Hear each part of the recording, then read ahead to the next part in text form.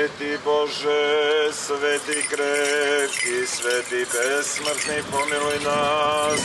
Sveti Bože, sveti krepki, sveti besmrtni, pomiluj nas.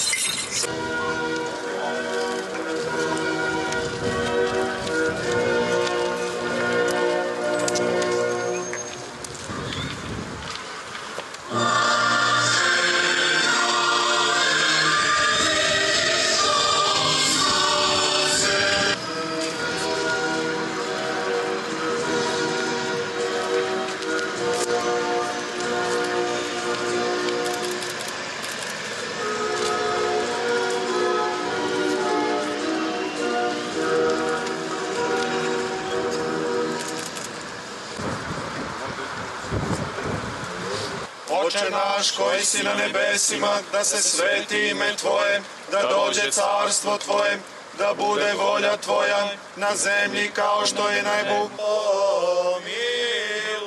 Milost Božju, carstvo nebesko i opraštaj grehova njihovih, molimo od Hrista besmrtnoga cara i Boga našega.